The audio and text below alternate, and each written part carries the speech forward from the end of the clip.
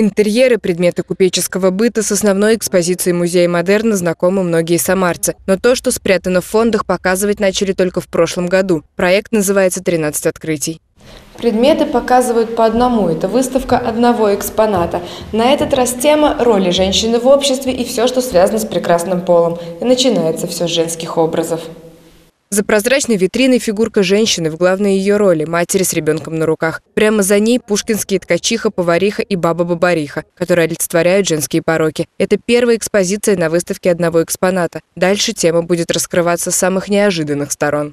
Будут аксессуары и какие-то предметы, связанные с чисто женскими занятиями, допустим, там утюги, а, какая-то вышивка. Скорее всего, это будут какие-то пудреницы и все, что связано с украшением женщины.